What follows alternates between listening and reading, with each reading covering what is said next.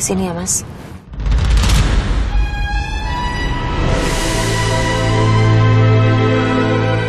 Ini Starla ngapain sih mandangin saya terus?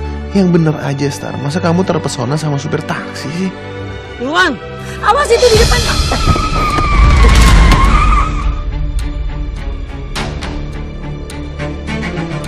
Star, uh, pu- pu- punten saya ambilin ya.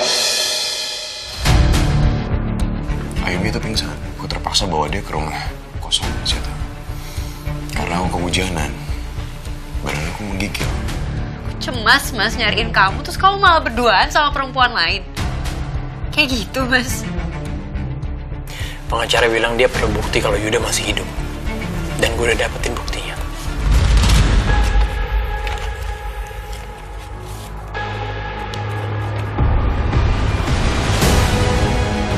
Bambu?